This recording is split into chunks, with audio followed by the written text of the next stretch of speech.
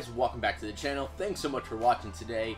And just got back from seeing the new movie, The Batman. I was so hyped for this movie. Had the t-shirt. Actually got this shirt almost two years ago after DC Fandom in 2020 and we ordered online and I finally got to put into use. We saw it tonight and I absolutely thought it was well worth the wait. I'll go into my thoughts about the movie a little bit deeper throughout this, but today what we're going to be doing is we're going to be unboxing the full set of the Batman Funko Pops and we're also going to be talking a little bit about the movie giving my movie review. So there are lots of pops that came out for this. I actually have all of them except for one one of the chases I do not have, but outside of that, I have every single pop that has been released from this set. Because I was so pumped for it, I had to make sure I got every single Funko Pop. And before we get into the video, if I could just remind you guys, as always, just to go down below and hit that subscribe button. We are on the road to 2,000 subscribers, so help us hit that goal. We would absolutely appreciate that. And of course, leave a like in the video as well if you enjoy it. It just does make a massive difference. So we'll start off by me giving my quick thoughts about the Batman. I really, really enjoyed this movie. I thought it was great. So many cool things that came into this movie. The characters, the acting, the way they was shot, the cinematography. The story was done really well. The action was great. The coloring, the sound, everything was just epic. And epic, I think, is a good way to describe it, but it was also very layered at the same time. I'm not going to try to get into spoilers too much in this video, uh, just because I don't want to spoil it for a lot of you guys, and the spoilers are really, you know, a touchy subject for myself, so I want to be respectful to you guys who maybe don't have the chance to see the Batman right away, or may have to wait until later in the weekend to see it, but I really, really did enjoy this movie a ton. Robert Pattinson really brought it as Batman and Bruce Wayne. Absolutely fantastic. Zoe Kravitz as Catwoman was really a delight. She was really strong in this movie too. Colin Farrell really blew me away as the Penguin. We even had some of the other ancillary characters like Jeffrey Wright as Commissioner Gordon was great. And then we had Paul Dano as the Riddler was mind-blowingly awesome. And we even had some cool surprises in the movie too. Some big pop moments and also just some other cool little surprises and twists we didn't quite see coming. And so I am definitely excited to, for where this iteration of Batman is going. Where they're definitely making a sequel, of course. So I'm excited to see where this takes it. But I'm definitely giving it uh, two big thumbs ups. Absolutely recommend. Whether you are a big Batman fan or not, I think you are going to find a lot of things that you're really going to like about this movie. And as we go through looking at the pops, I'll give my, a little bit more about my thoughts about the character, maybe what that kind of design or outfit really played a part in the movie and how impressive it was and how I enjoyed that. And also, of course, talk a little bit about the pops themselves. So we'll kind of go a little bit on both sides of the movie and the pop review, which I think will be a little bit of fun. We've done these before, and you guys seem to enjoy that. So we'll go ahead and jump right into taking a look at the pops. So the first pop we're going to be taking a look at is, of course, of Batman, and this one is definitely pretty cool. It's gonna actually be uh, with him with his grappling hook, which he actually uses a good amount in the movie. And this pop definitely does look really cool. And a couple of the details that I do like about the pop that you'll notice throughout all the rest of the Batman pops of him actually in the suit is how the suit kind of looks like it is kind of handmade a little bit with the stitching and they even have the details showing on the pop. And you can see what I'm talking about kind of with the stitching outline there on the cowl for Batman. That looks really awesome. And I love the coloring of the suit. It's kind of that darker gray, but you still have the Batman logo being that all black. That looks really cool. And he is shooting the grappling hooks out of both of his gauntlets there. And I think this is coming out of one of the fights he actually has in the middle of the movie where I believe he shoots both of his grappling hooks to take out some bad guys. So this is actually a pretty cool action one as well. And the second pop we'll take a look at is from one of the main villains of the movie, and it is the Riddler. And the Riddler is such a frightening character in this movie. He is a full-on serial killer. Think of like a serial killer thriller type of movie. That's what he brings to the table. Paul Dano as the Riddler is absolutely fantastic. Really puts the fear into you and really keeps you guessing about what's going to be coming next throughout the movie. And the pop here really does bring a little bit of that scariness with it. And the Riddler is wearing a green jacket with a matching green face mask, and it really is menacing because it's kind of like a little bit of a hockey mask, but his mouth is covered and it makes it in the movie he's kind of muffled in his voice when he's speaking, which makes it sound a lot more sinister. And he has the tape in his hand. And as you kind of saw a little bit in a couple of the trailers, he does use that to tie up things on his victims and then he also like writes messages on them. And it is really really scary in the movie and you even see on his jacket he does have a question mark as well. Of course that little riddler logo and a really good reminder of how menacing he is in the movie next pop that we have is one of my favorite characters from the entire movie. It is Selina kyle aka catwoman. And this one is actually her this is the common of her with the mask on. And zoe kravitz plays catwoman slash Selina kyle. And she is amazing in the movie. She really brings this sort of own charisma uh, that she could really take care of herself she was really physical in the movie you know kicking some ass and she had a really good chemistry with robert pattinson and batman it's actually cool that they brought her in a little bit earlier and allow them to kind of connect on that personal level of both them both being pretty young and trying to figure things out in their life. But this pop is also a pretty cool one. And Selina Kyle does have her all black kind of leather suit on, which she looks really great in in the movie. And she can still do all of the moves, can do all the kicks and everything with the suit on, which is really impressive. And she has the cat burglar burglar mask on with the little cat ears on the top, which I think was a really clever design for them to do that for this movie. And then she also has the whip in her hand too that she can use while she's fighting. And then there was also a chase for Selina Kyle that we were able to pick up about a month ago from the comic spot. And this is Selina Kyle Chase, and it is just slightly different. Pretty much the same thing as we can see here, except she has her mask off so we can see Zoe Kravitz's face. And in the movie, she does have that short hair. You'll see her put on wigs throughout the movie, and then they even add the detail of her having her earrings in as well. And there really were a lot of characters in this movie, and they all brought in something really unique. And one character that ended up playing a lot bigger part in the movie than I thought they were going to was going to be Colin Farrell's Oswald Cobblepot, otherwise known as the Penguin. And at first, when I saw Oswald Cobblepot listed on the pop, I thought, oh, he's just gonna be like a character that kind of becomes a penguin. He's kind of like a shady criminal type but he's not to be really known as the Penguin. No, in the movie, he is known as the Penguin, and throughout the movie, he gets more and more kind of menacing. He kind of steps up a little bit more, and the scene they show in the trailer of him and Batman kind of doing a car chase, that scene was absolutely awesome. And he actually has a couple other scenes in the movie that are really memorable and add a little bit of levity to it too. This Oswald Cobblepot here is definitely a really awesome one as well. So, but it's nothing too crazy for the pop. He just has an overcoat on. He has a suit underneath. He's holding an umbrella in his left hand. I do like the detail that they have on the face because in the movie, his face is a little bit disfigured. He does have some cuts on him, so and a little bit of like wrinkles on the forehead. So they do show that the cut, the X right under his right eye as well. So they did try a little bit to add in some of those cuts and bruises and stuff that he has from over the years. Who knows how he got those? Because they don't really explain that too much in the movie. Maybe we'll learn about it maybe in the future HBO Max show they're doing, or maybe in the next Batman movie. And this one did also have a chase, which was nothing crazy, just like the Selina Kyle one.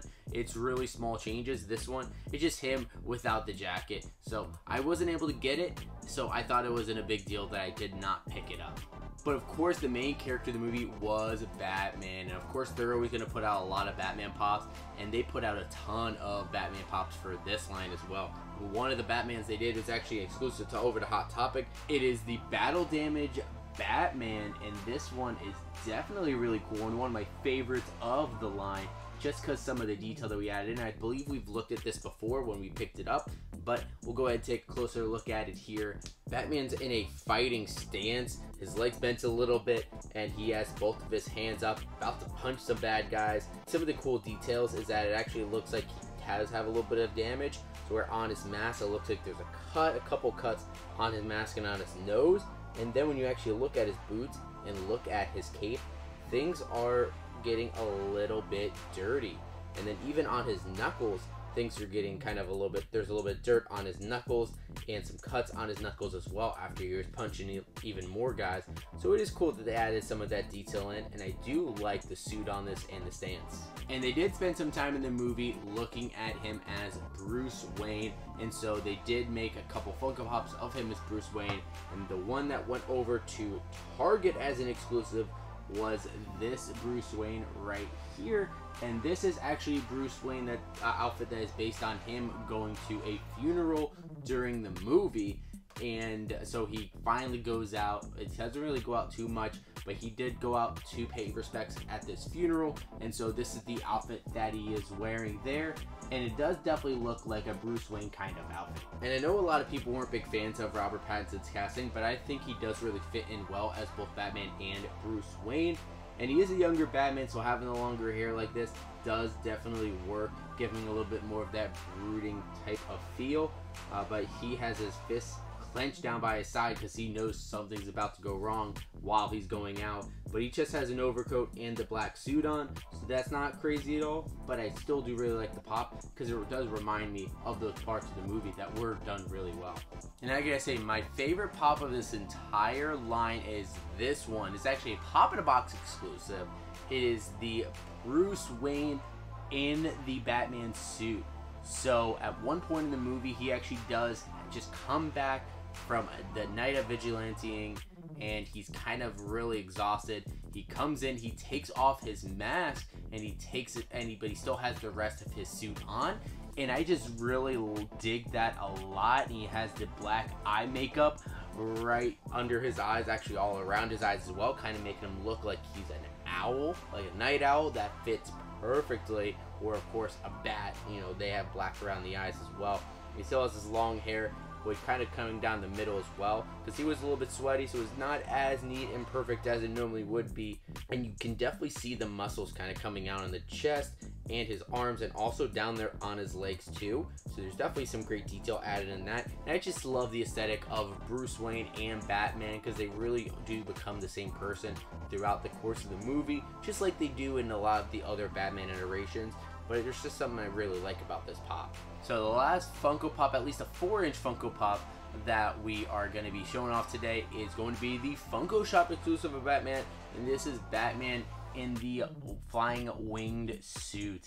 And this pop is really awesome, and the way that they introduce that suit into the movie is really cool as well. And so it actually at one point in the movie he's trying to escape and he kind of runs over to a ledge and then he just presses a button on his utility belt or something and then this expands and then he's able to just jump down and fly. But the cool thing is that he's a younger Batman, he's still also learning a little bit about his tools that he has on with him. And so he doesn't fly it perfectly. He ends up hurting himself on the landing. I really do like how it is shown in the movie, and I was a little bit curious about how it would work seeing the pop, but I do really dig it. After that, it makes me appreciate the pop even more. So it looks like Batman really does have the same head mold as the other ones of him in the suit, in the cowl, but the rest of it is completely new. So he has his arms and legs kind of stretched out a little bit, and you see the suit kind of expand there. Kind of looks a little bit like a kite or a rug, honestly, just spread out, and then when he does jump out, he's able to kind of control himself and kind of just soar through the air. Not necessarily fly really well, but he's able to soar, kind of control himself a little bit. But I do really like the uniqueness of a pop like this because you're really not going to find a Batman pop like this anywhere else. And look at that. That is nine Batman Funko Pops. Building my wall of Batman Funko Pops. I don't even know if you can see me right now, but that's all of the 4-inch Batman Funko Pops. But guess what? We're not done because they also put out a number of larger pops, some deluxe pop rides, and a 10 inch pop that we have to take a look at as well. And when we're looking at the bigger ones, we'll start with the biggest pop that they made. This one is actually really awesome. It is the 10 inch Batman, and he is the battle ready Batman and man this guy is really really awesome. And seeing him as 10 inch figure is even more cool. This is definitely one that you're to want to display out of the box if you do get it of course. A little bit easier for space but it's one that you're want to have on your desk because it is a really awesome figure. So it is the same thing as the battle damage one except it is before the damage actually occurs.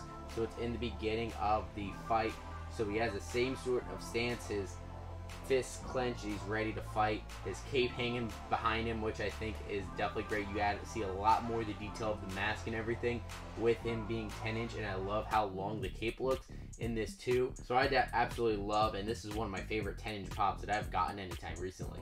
And then they gave us a couple pop rides. And the one pop ride that we ended up getting was going to be Selina Kyle on motorcycle. And this pop, this pop ride, I don't love 100%, but I do think it is cool. And again, does kind of remind me of the character in the movie, which I did really enjoy.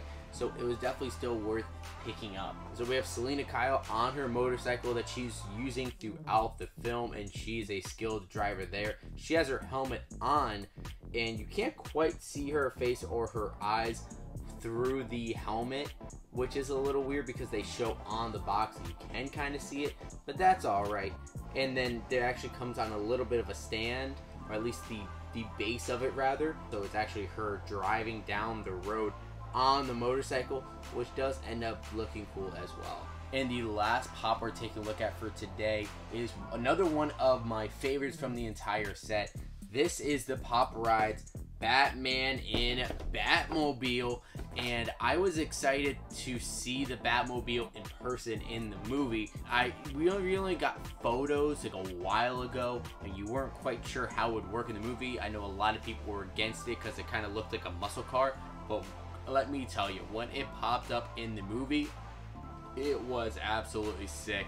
The rev of the engine, I was in IMAX, so the sound almost kind of exploded there, and you really felt the thrill. You felt the power of the Batmobile. And although it's not the big tackle tank of the Christopher Nolan one, or even of the Ben Affleck, um, Zack Snyder ones, or so the slickness of the Michael Keaton ones, it really does fit in well with this story and this world. So I did really dig the Batmobile, and the pop really does bring that to life. And really do like how Funko has gotten better and better with pop rides that are specifically people in vehicles. It used to just be that they would have the vehicle and then there would just be like someone's head popping out the top, or it wouldn't be so that a figure was actually fully in the car, but this one does have that extra detail. And so Batman is in the driver's seat, and he actually you can actually see him in the seat in the steering wheel. And if you look down it a little bit, you can actually see the rest of the suit and the detail with the boots and his gauntlets and everything. So that's really cool. They continue to add all of that in while sliding him into the driver's seat. And then it does look like that muscle car, a little bit like a Camaro type of car, but he does have a lot of modifications to it, which you can definitely see on the back with the extra engines and everything. And then where the fire comes out the back, then you see that first time it turns on, the back lights up with fire, and it is absolutely sick. So I'm really happy with this pop ride as well. So there is a look at all of the pops for the Batman. Again, I got every single one, and it's actually just two I did not get. There was the common uh, Battle Ready Batman, but of course we got the 10-inch version of them, and we did get the Hot Topic exclusive Battle Damage version, and then we did not get the Chase Oswald Cobblepot. But that's alright because it's nothing too crazy different from the common. So I'll go ahead and keep the common for myself here. Save a little bit of money on that. Now that we looked at all the pops and I gave a little bit my, a little bit about my thoughts on the movie, I want to throw it over to you guys. What do you think of the Batman? Have you seen the movie? What were your thoughts? Did you like it? Also, what Funko Pops for the Batman did you guys pick up for your collection? What's your favorite from the line? Myself, my favorite is definitely the Pop in a Box exclusive one, Bruce Wayne with him and the Batman suit. I really do like the Batman in Batmobile uh, Pop Ride as well. Those are probably my two favorite ones from this set. Let me know what your thoughts are in the comments down below. And of course, if you guys can, make sure you hit that like button, hit that subscribe button as well. Help us get to 2,000 subscribers. And thank you guys so much for watching today. And as always, we'll see you again real soon.